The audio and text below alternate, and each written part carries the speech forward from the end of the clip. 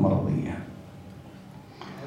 صلى الله عليك يا سيدي ويا مولاي يا رسول الله وعلى أهل بيتك المرمومين المعصومين.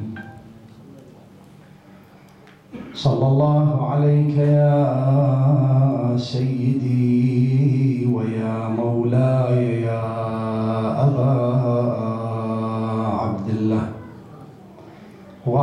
وعلى المستشهدين بين يديك ما خاب والله من تمسك بكم.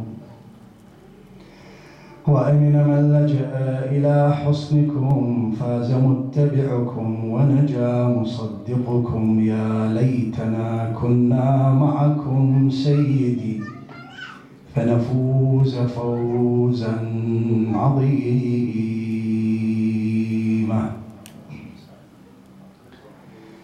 فإن يك إسماعيل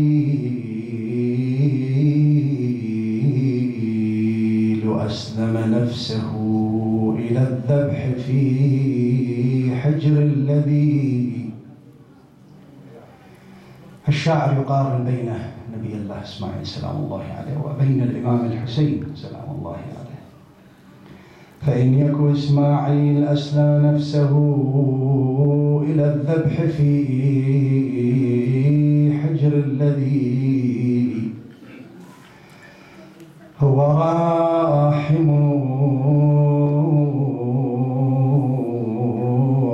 فعاد ذبيح الله حقا ولم يكن. تصافحه بيض الظباء وتسالم فإن حسينا أسلم النفس صابرا. على الذبح في أي سيف الذي هو ظالم. اكتفوا بقتل الحسين. لا والله. ورضت ورضت قراه العاديات وصدره أيوة حسين ورضت يا فرج الله ورضت قراه العاديات وصدره وبعد سيدي عذرا.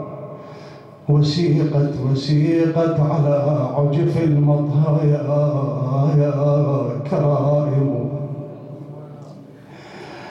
آه آه يا فأي حشا سيدي لم يمس قبرا لجسمه وفي أي قلب ما أقيمت مآتم.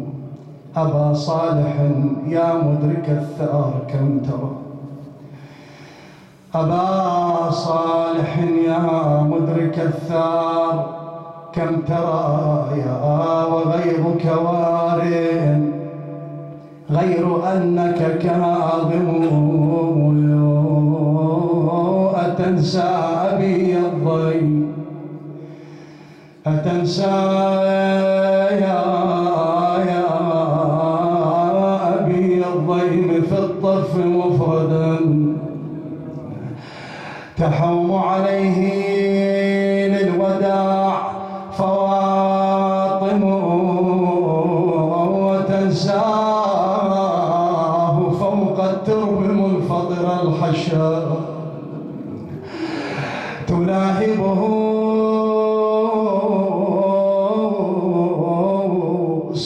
الردى وصوارم سيدي أي أتنسى رضيعا أرضعته قسيهم من النبي ثديا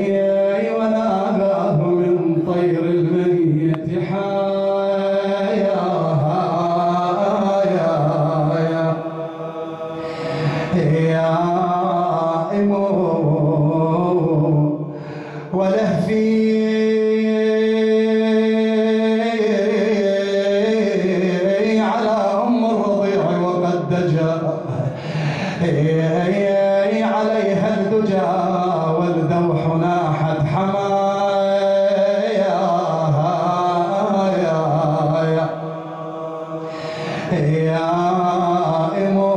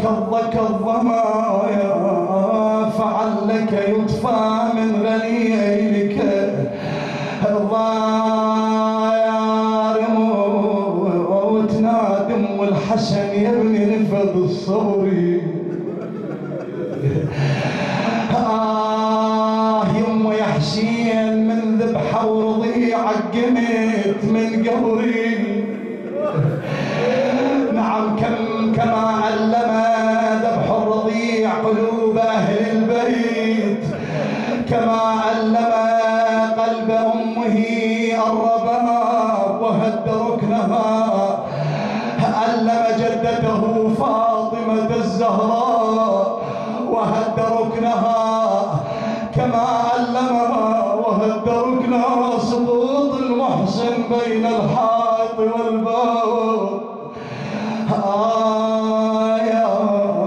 آيات نادم والحسن يا ابن نبض الصبر الصبر يما من ذبحي ورضيعك قمت من قبري أنا إجيت من المدينة الكربلاء العين.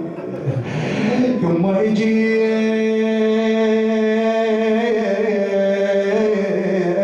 اجيت اطبق نحر عبد الله ويضلعي واقطر فوق الشافه من نزف دمعي. يما الفلا بطل عليك وعلى الطفل يجري.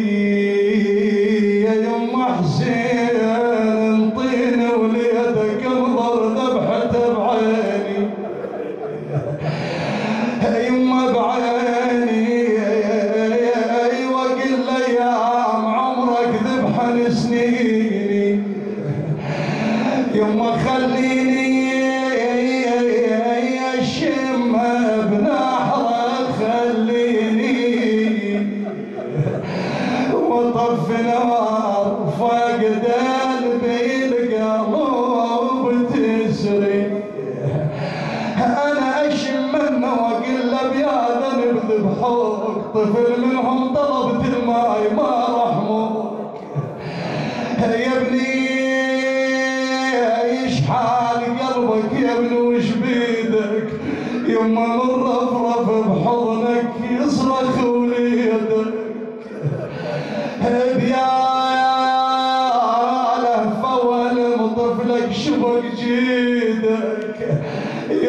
فلا يا فلا يجبر عقب هالنايبه كسري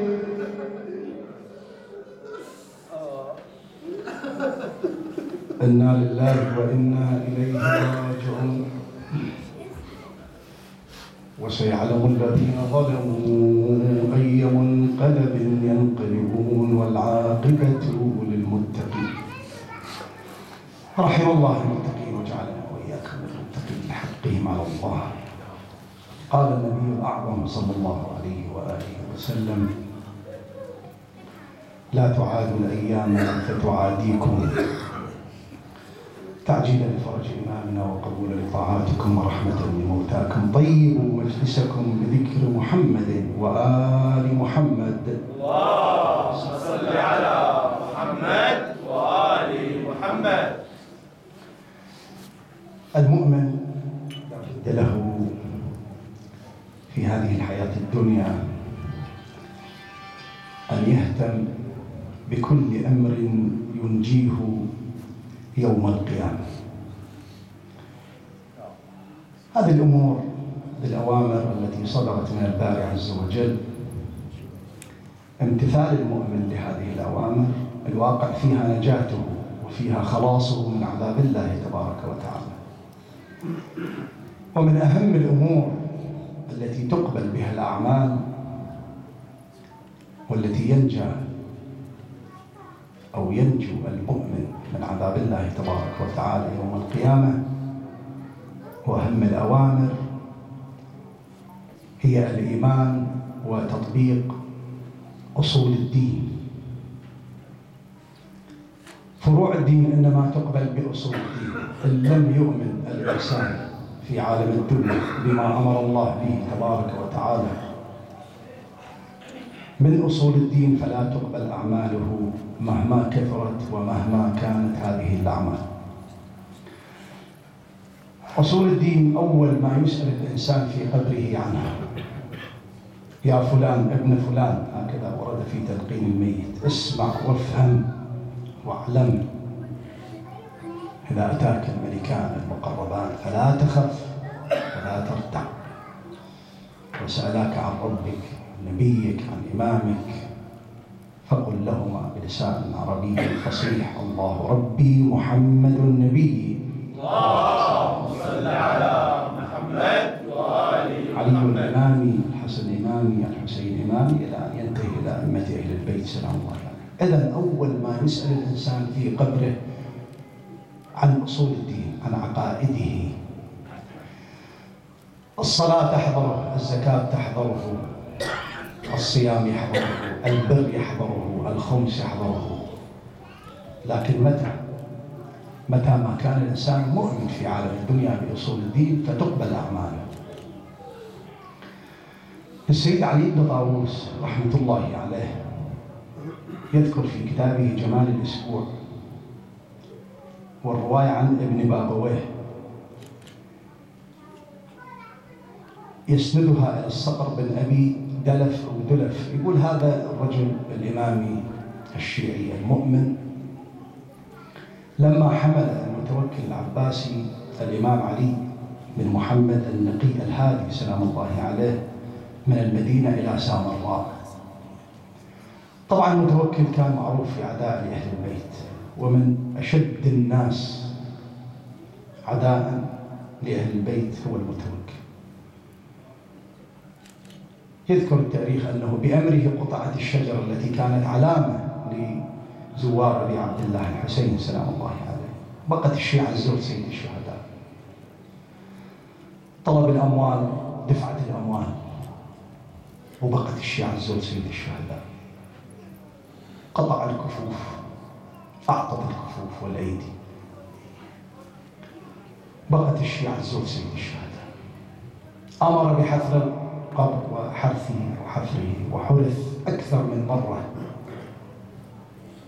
وبقت الشيعة تزور سيد الشهداء وأمر بأن يفتح ماء الفرات على قبر الحسين سلام الله عليه حتى يمحو القبر الشريف فحار الماء ولم يصل إلى القبر الشريف.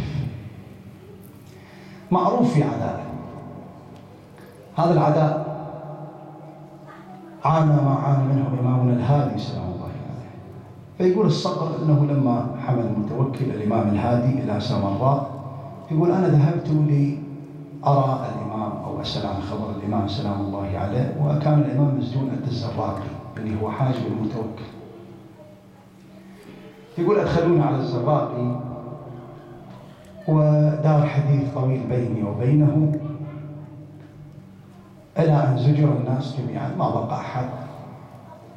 يقول التفت إليه قال يا صقر ما شأنك؟ ما جاء بك. قلت الخير.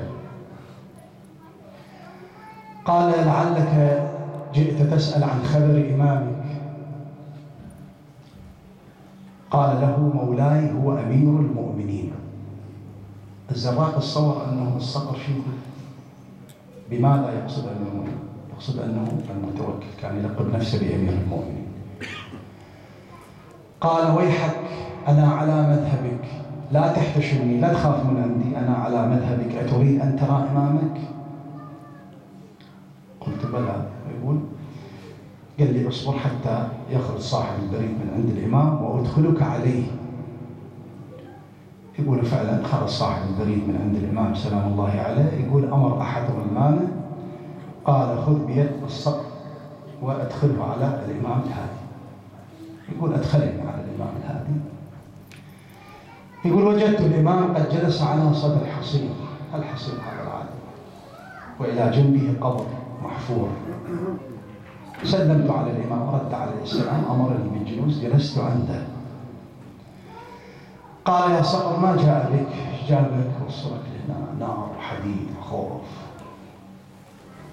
إمام معصوم ومسجون عند حاجب المتوكل يا صقر ما جاء بك. قلت يا ابن رسول الله أنا جئت. أتفقد خبرك أنا جئت. أشوفك يا ابن رسول الله. يقول الصقر ثم نظرت إلى القبر فبكيت فقال لا عليك لن يصلوا إلينا بسوء. يقول ثم قلت له يا ابن رسول الله حديث يروى عن رسول الله صلى الله عليه وآله لا أعرف معناه. قال وما هو؟ قلت قوله صلى الله عليه وآله لا تعادوا الأيام فتعاديكم. فقال نعم الأيام نحن ما قامت السماوات والأرض. فالسبت اسم رسول الله صلى الله عليه وآله والأحد أمير المؤمنين والإثنان الحسن. والحسين والثلاثاء علي بن الحسين ومحمد بن علي وجعفر بن محمد والأربعاء موسى بن جعفر وعلي بن موسى ومحمد بن علي وأنا. يقول الإمام الهادي وأنا. والخميس ابن الحسن والجمعة ابن ابني وإليه تجتمع إصابة الحق فلا تعادوهم في الدنيا فيعادوكم في الآخرة. قال هذا معنى الأيام فلا تعادوهم في الدنيا فيعادوكم في الآخرة. ثم قال له ودع واخرج انصرف لا تبقى هنا ودع واخرج. الواقع الإنسان لما يسمع هكذا روايات أولا يزداد إيمانه بالله تبارك لأن الله تبارك وتعالى حكيم. الله من حكمته جعل لكل زمان إمام. يعني ما خلى الناس في فوضى في هرج ومرج كما يدعي البعض. من حكمته أنه جعل هذا الإمام معصوم حتى يكون أهلا للقيادة للريادة الربانية. من حكمته تبارك وتعالى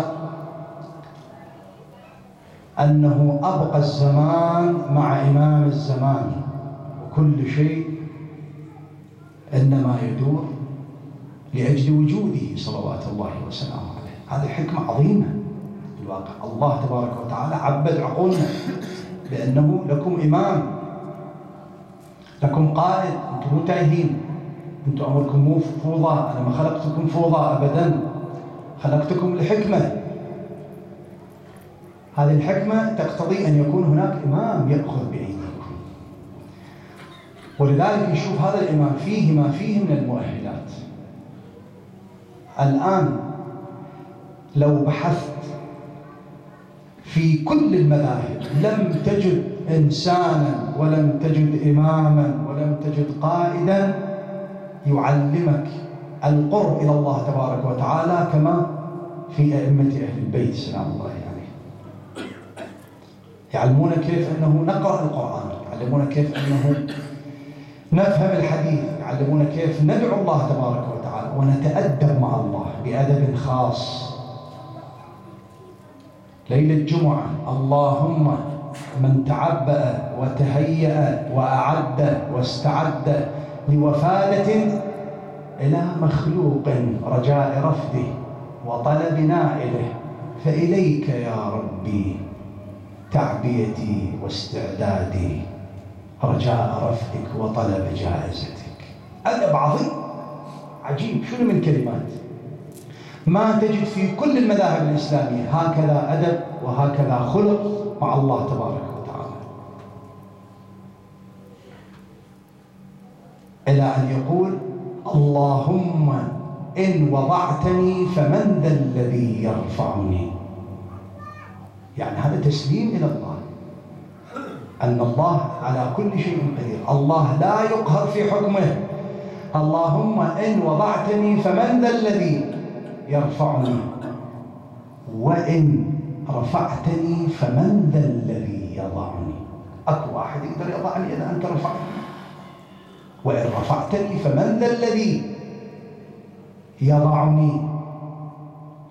وقد علمت أنه ليس في حكمك. ظلم. وإنما يحتاج إلى الظلم الضعيف. أنت ليس بضعيف. وإنما يحتاج إلى الظلم الضعيف. وقد تعاليت عن ذلك علوا كبيرا عجيب كلمات واقع تدخل إلى القلب تناغم الفطرة. مباشرة كلامكم نور وأمركم رشد وصيتكم التقوى وفعلكم الخير. عجيب. كل حرف فيه نور. كل كلمة فيها نور. كل كلمة فيها عبرة. كل كلمة فيها معاني وليس معنى واحد. إقرار إلى الله. في أسطر عبودية إلى الله تذلل إلى الله. فالواقع الإنسان لما يقتدي بالأيام بالنبي بأهل البيت ينجو يفوز لأنه راح يعرف شلون يصل إلى الله تبارك وتعالى بهم سلام الله عليه. هذا هو القصد هذا هو السبيل. هذه هي الغاية الحقيقية. اللهم لا تجعل الدنيا أكبر همنا أنه لا تجعل غايتنا الدنيا وإنما أجعل غايتنا الآخرة. الدنيا أجعلها شو؟ ممرا للآخرة طريق إلى الآخرة. هكذا نحن مع النبي وأهل البيت. نحن نريد الله تبارك وتعالى. ونبتغي وجه الله نقصد وجه الله. لكن هم الطريق إلى الله هم السبيل إلى الله. ثم ذكر السيد علي بن طاووس قدس الله نفسه الرواية بحديث آخر وذكر زيارة النبي وأئمة أهل البيت سلام الله عليهم. الزيارة موجودة في كتب الأدعية زيارة الأيام. برواية القطب الراوندي. هكذا أئمة الواقع نفتخر بهم هكذا أئمة يجب علينا أن نخلد ذكراهم نعظم عظمائنا أئمتنا ترى ماكو أئمة مثل أئمتنا أبدا. ولذلك إحنا نفتخر مو أنه نخلد أئمتنا باعتبار عظماء. الآن الأمم جاية تخلد عظمائها وتعظم عظمائها وتسوي مناسبات وذكريات وإلى آخره. لكن إحنا يجب علينا بل نفتخر نتشرف مو أنه نخلدهم ونعظمهم. وفي تخليدهم النجاة والخلاص من العذاب لا بل نتشرف أن ننطق أسماءهم على ألسنتنا ننطق أسماءهم على ألسنتنا في الواقع النبي وأهل البيت ما تركوا شيء إلا وبينوه. ولذلك ورد لا تخلو واقعة من حكم شرعي. ماكو واقعة في حياة الإنسان تخلو من حكم شرعي. إما واجب وإما شنو؟ حرام وإما مستحب وإما مكروه وإما مباح. ماكو واقعة ماكو حركة ماكو سكنة ماكو صمت للإنسان حتى الصمت لا يخلو من حكم شرعي. الآن جلوسنا في هكذا مجلس؟ له حكم شرعي. أحيوا أمرنا. مستحب.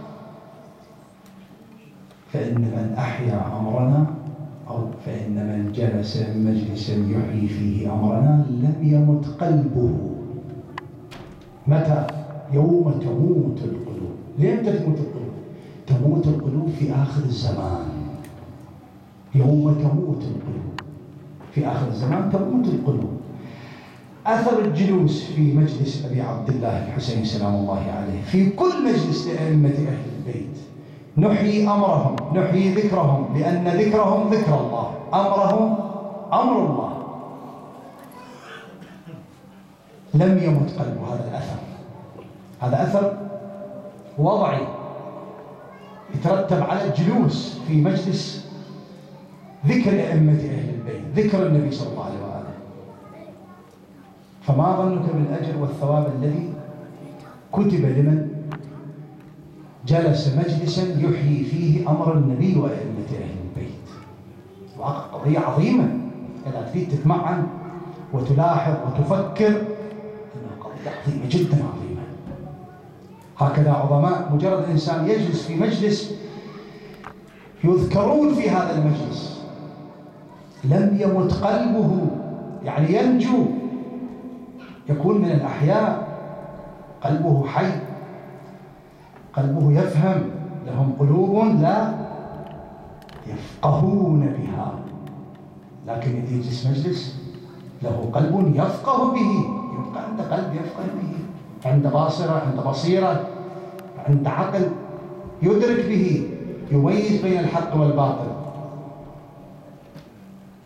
ما تشتبه عليه الأمور. ما تأثر عليه الرياح يمينا وشمالا. شايف الآن هاي الفترة شلون موجة؟ خصوصا للشباب موجات ما شاء الله. النجاة فيهم سلام الله عليه هذه الموجات ما تأثر على الإنسان. مهما كان جهل هذا الإنسان عدم علم عنده هذا أثر وضعي يترتب. هذا مما لا ريب فيه ولا شك فيه. أثر لابد أن يترتب. الباري عز وجل عنده قانون. بغض النظر عن الإنسان سواء كان كافر أو مسلم مسلم أو مؤمن أي نوع من أنواع الكفر؟ أي نوع من أنواع الديانة؟ ديانة سماوية ديانة أرضية كافر كتابي غير كتابي. أكو قانون إلهي. اللي يقتل أبوه ابنه شنو؟ يقتله اللي يقتل أبوه يقصر عمره. كافر يقتل أبوه يقصر عمره. مسلم يقتل أبوه يقصر عمره. هذا قانون إلهي. بغض النظر عن كونك مسلم أو كونك كافر. أكو قوانين لها آثار وضعية. لابد أنه تترتب هذه الآثار. فهذه القوانين الإلهية الإنسان إنما يحصل عليها عندما يتولاهم سلام الله عليه يذكرهم يحيي أمرهم يقتدي بهم يأخذ منهم يتأسى بهم ويذرف دمعة عليه لأنهم عبرة وعبرة. يذرف دمعة. التطرف ما مطلوب لا من المؤمن ولا من المسلم بل من مطلق الإنسان. التطرف مو صحيح. الإنسان لابد أن يكون شنو وسطي منصف بين بين. لا نقول النبي وأهل البيت عبرة فقط هذا مو صحيح. ولا نقول عبرة فقط أيضا هذا مو صحيح. فهم سلام الله عليهم عبرة وعبرة. عبرة وعبرة. وسطية. الأصح. كلاهما يقربان المؤمن إلى الله. في كلاهما النجاة. في العبرة في التأسي بهم الأخذ منهم السير على منهجهم وفي البكاء عليهم وفي ذكر مصائبهم. جانب مهم. في حياة أهل البيت. جدا مهم. لا نغفل عنه. إمام معصوم مفترض الطاعة. كل شيء الآن إنما يسير بنظام دقيق إلهي رباني بسبب وجوده ببركة وجوده. يهتم بهذا الجانب. يهتم بهذا الجانب. السلام عليك. سلام من لو كان معك في أرض الطفوف. هذا كلام من؟ كلام إمامنا الإمام الحجة بن الحسن عجل الله تعالى فرجه. السلام عليك كما ورد في زيارة الناحية المقدسة. سلام من لو كان معك في أرض الطفوف.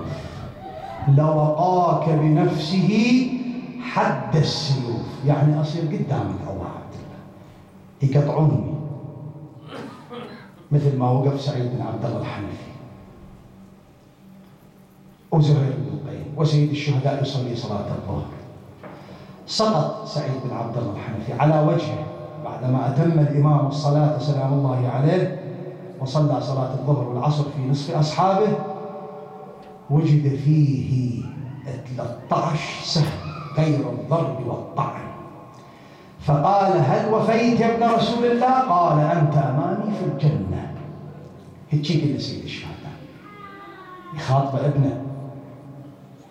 له السلام عليك سلام من لو كان معك في أرض الطفوف لوقعك بنفسه حتى السيوف.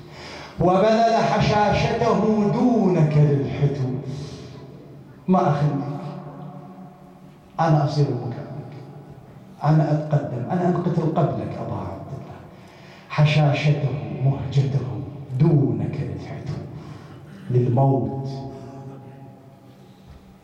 صلى الله عليك يا أبا عبد الله. هكذا ورد عن إمامنا الصادق قال إذا ذكرت الحسين فقل ثلاثا. صلى الله عليك يا أبا عبد الله. صلى الله عليك يا أبا عبد الله. صلى الله عليك يا أبا عبد الله. تدرون هذا صلى الله عليك يا أبا عبد الله زيارة. ثوابها حجة وعمرة مبرورة مقبولة. اللهم صل على محمد وآل محمد وتشوف الإمام مهتم بهذا الجانب متألم. يروى يذكر أنه سيد حيدر رحمة الله عليه الحلي عندما التقى به وطلب من عند الإمام سلام الله عليه. بل أمره أمره مو طلب من عنده أمره أن يقرأ العينية كان سيد حيدر كاتب. عينية قصيدة تنتهي بالعين تسمى بالعينية كان كاتب عينية فبدأ يقرأ. 52 بيت تقريبا. بدأ يقرأ. قد عهدنا الربوع وهي ربيع. أين لا أين أنسها المجموع؟ قال لا سيد حيدر. اقرأ العينية الثانية. سيد حيدر يقول أنا كاتبها البارحة بالليل وما حيدري بها بس يقول أنا ما التفتت هذا الرجل شو يدري إنه أنا كاتبها البارحه يقول أنا ما مخلي أي شخص يطلع عليها بس أنا أدري. العينيه الثانية 72 بيت. يقول أنا لا ارادي بدأت أقرأ. الله يا حامل الشريعة أتقر وهي كذا مروعه شلون تقر لك عين سيدي؟ أتقر وهي كذا مروعة. بدأ بدأ بدأ يقرأ يتسلسل إلى أن وصل إلى البيت رقم 35 ماذا يهيجك إن صبرت لوقعة الطف الفظيعة أترى تجيب فجيعة بأمض من تلك الفجيعة. أي فجيعة؟ يا سيد حيدر. حيث الحسين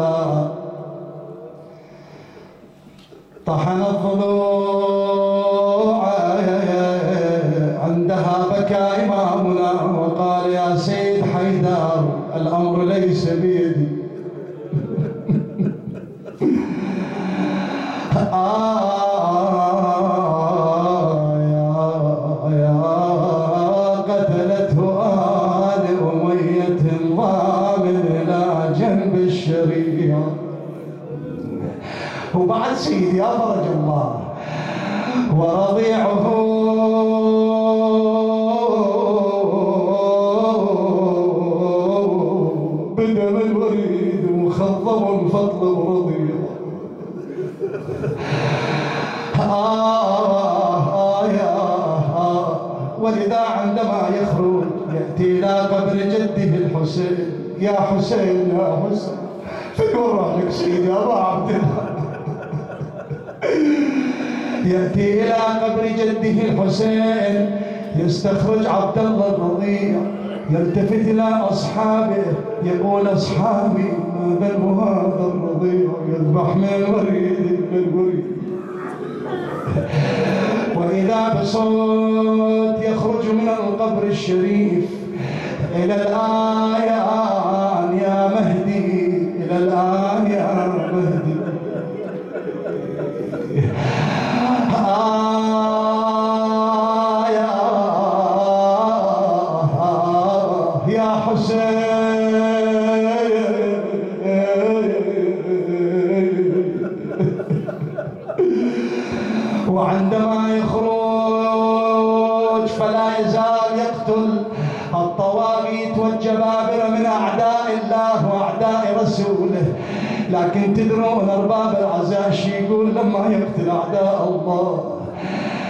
يقتل أعداء الله وأعداء رسول أعداء رسوله وهو يقول ألا يا أهل العالم إن جدي الحسين قتلوه عطشان ألا يا أهل العالم إن جدي الحسين قتلوه عريانا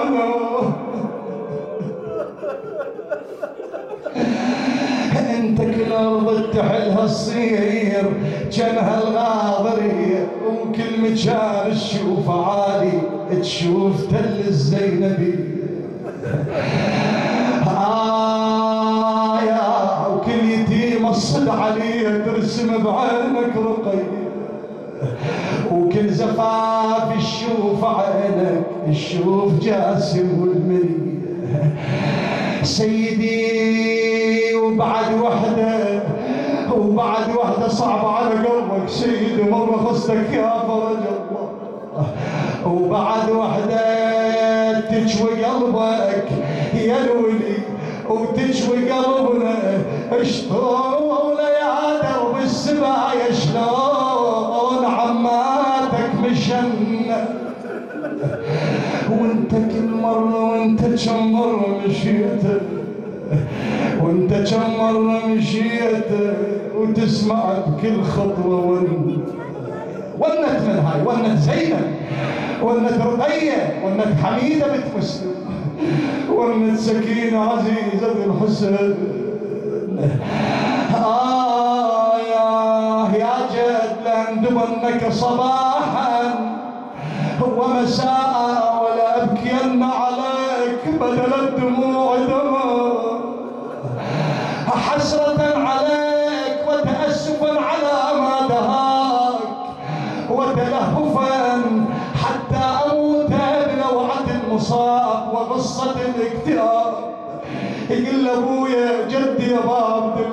أنا ابكي عليك حتى أموت من البكاء. حتى أموت بلوعة المصاب وقصة الاكتئاب. من الحزن والبكاء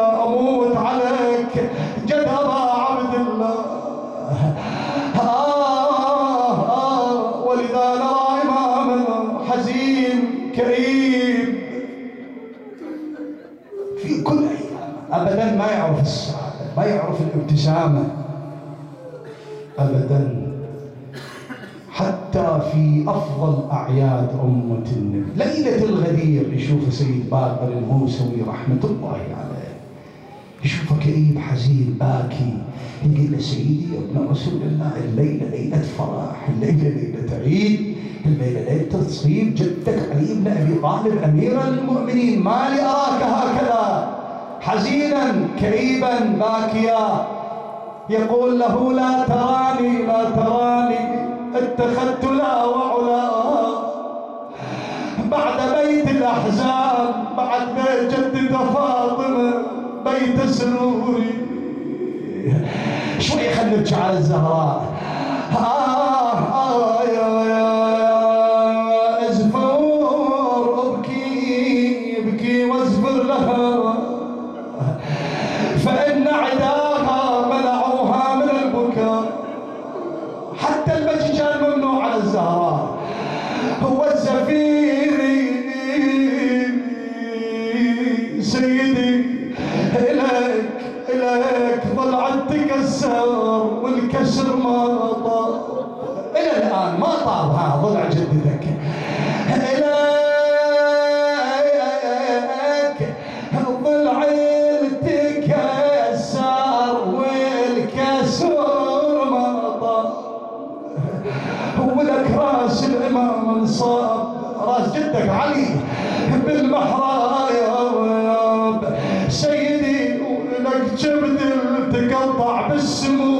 ذا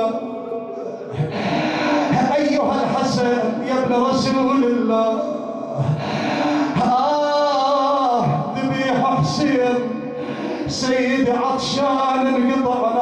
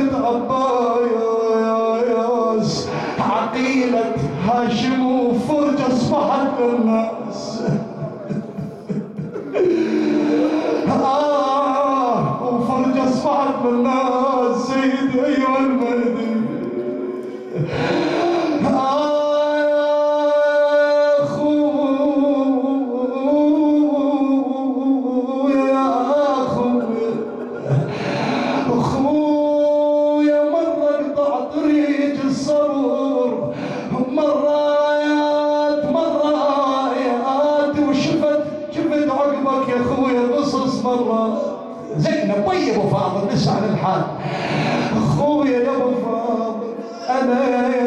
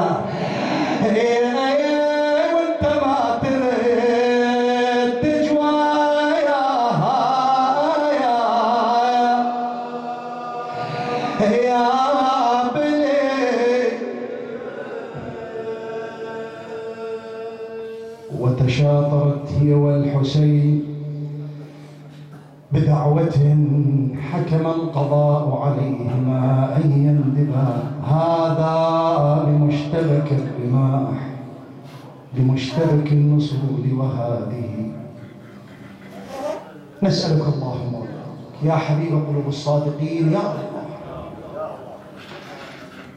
باسمك العظيم الأعظم الأعز الأجل الأكرم يا الله بأحب الخلق إليك بفاطمة وأبيها وبعلها وبنيها والسر المستودع فيها يا الله. اللهم فرج عن إمامنا وعنا به يا كريم واكشف هذه الأمة عن هذه الأمة بحضوره. آمنا آمن المؤمنين المؤمنات. في مشارق الأرض ومغاربها أينما حلوا أينما كانوا إلهي في أوطانهم من علينا جميعا بالصحة والشفاء. أخوان الحاضرين أخوان المؤسسين سماحة السيد اللهم من كان فيهم طالب حاجة فاقضي حوائجهم للدنيا والآخرة. اللهم يسر عسرهم رد غريبهم شافي مرضاهم أصلح شأنهم ذات بينهم أعنهم على أنفسهم. احفظهم بحفظك. ومن يلوذ بهم من ذويهم من عيالهم من ليس له ذرية. اللهم ارزقه ذرية واجعلها صالحة برحمتك التي وسعت كل شيء. يا الله. اللهم ارزقنا العلم والعمل الصالح واجعل أعمالنا خالصة لوجهك الكريم. إلى موتاكم كل من مات على الإيمان. موت المؤسسين. نهدي للجميع ثوابه. سورة الفاتحة مسبوقة بذكر محمد. وآل محمد.